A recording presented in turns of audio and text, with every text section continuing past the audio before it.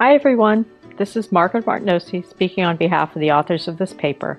Thanks so much for this honor. It really means a lot to us and we regret that we can't be there in person to celebrate. This ZebraNet paper at ASPLOS 02 was the first paper in a project that lasted five years and brought three generations of our designs to Africa for deployment. By the end of our project, we demonstrated a real working system with hardware and protocols and colors that we designed and built, and it pioneered the notion of mobile opportunistic sensor networks. This offered huge energy savings and huge improvements in wildlife data collection over hundreds of square miles in Africa. But this paper was before we got to all of that, before we got to Kenya, and before there were zebras wearing our collars.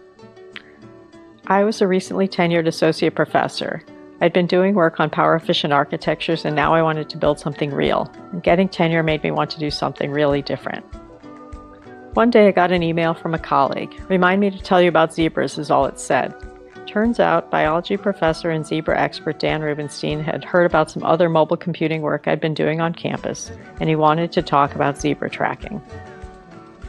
Today, you could use a ruggedized cell phone with solar recharge for much of this, but back then, smartphones didn't exist yet, GPS barely existed, and rural Kenya had no cell service. There were also serious energy constraints and system reliability challenges.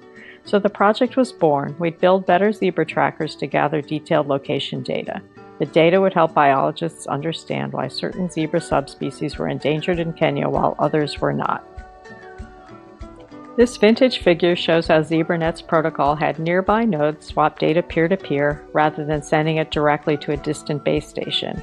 These short-range swaps were very energy efficient compared to longer transmissions, and over time the data would percolate to the base using epidemic propagation. The paper used a Markov model of how zebras might move to predict how the protocol would work. From the little observation data we had, the model helped us estimate how much data would eventually get back to the base station using these energy efficient peer to peer epidemic protocol. At the time of the paper, we also had a breadboarded prototype. Everything was huge and not ready to be attached to a zebra in any way. The later boards we designed were about the size of a credit card. There were also several evolutions over time in the processor and the programming model. At the time, people either thought ZebraNet was really cool or really crazy or both. But compared to the DARPA Smart Dust sensor networks back then, our work showed that in some cases mobile sensor nodes had much better data forwarding capacity and energy efficiency.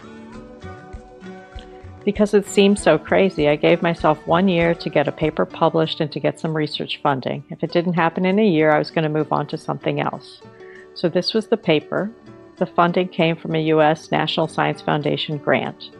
The person who funded ZebraNet nearly 20 years ago is still at NSF, and I was thrilled to get to tell her about this in person last week. Thanks also to that year's ASPLOS 10 program committee, who saw the promise in this work despite the humble simulation results at the time. Their vision and positivity helped this work gain traction. In turn, this project helped advance issues in mobile sensor networks, delay tolerant networks, and full stack energy efficiency strategies. In addition to the authors on this paper, new students and professors joined the effort. In addition to groundbreaking research, there was arduous work on building and waterproofing collars and making them last. For all of us, the chance to deploy our work in the gorgeous grasslands of central Kenya was a research thrill that is hard to surpass. Thanks very much.